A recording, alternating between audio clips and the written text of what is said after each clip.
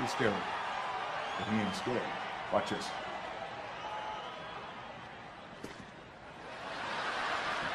What?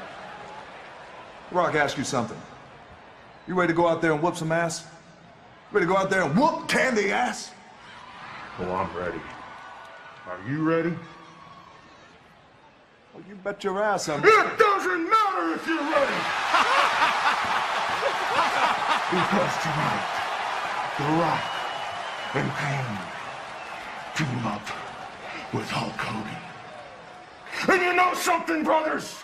Whether it's the millions and millions of Rock fans, or 20,000 Hulkamaniacs, or 20,000 screaming Canaanites. Canaanites? The question is, brothers, what you gonna do?